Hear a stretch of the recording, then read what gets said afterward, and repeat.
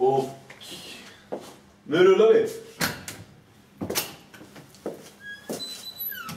Hello, uh, my name is Fernando and I'm an actor and a comedian and this is my interpretation of uh, Al Pacino's speech on any given Sunday. So, let's go. I'm gonna take it in English so everybody understand.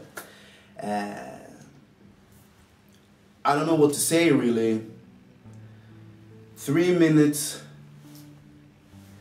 yeah, till the biggest battle of our professional lives all come down today.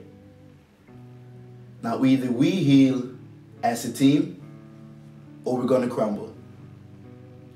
Inch by inch, play by play, till we finish. We're in hell right now, gentlemen. Believe me. And we can stay here, get the shit kicked out of us, or we can fight our way back into the light. We can climb out of hell, one inch at a time. I can't do it for you. I'm not Zlatan Ibrahimovic.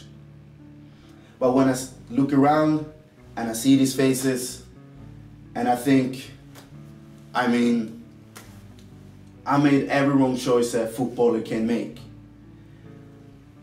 I chased off anyone that's ever loved me.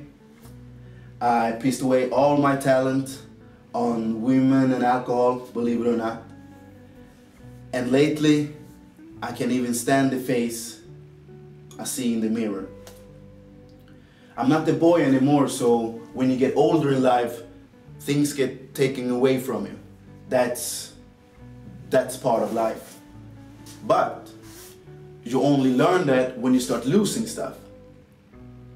Then you find out that life it's a game of inches. So is football.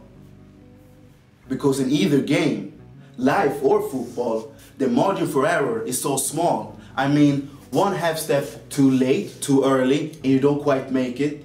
One half a second too slow, too fast, and you don't quite catch it. The inches we need are everywhere around us.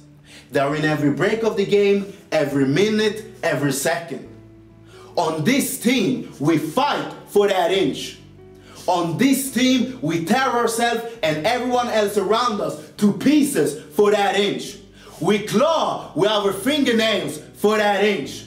Because we know when we add up all those inches, that's gonna make the fucking difference between winning and losing, between living and dying. And I tell you this, in any fight, it's the guy who's willing to die who's gonna win that inch. And if I'm gonna have any life anymore, it's because I'm still living, willing to fight and die for that inch.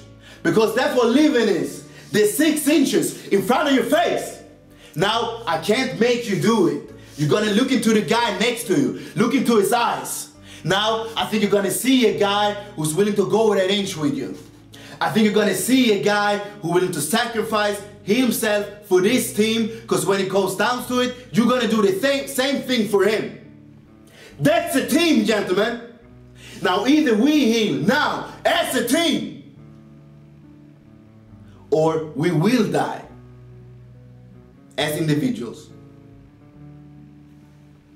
That's football, guys. That's all it is. And my question to you is, are we going to win or not?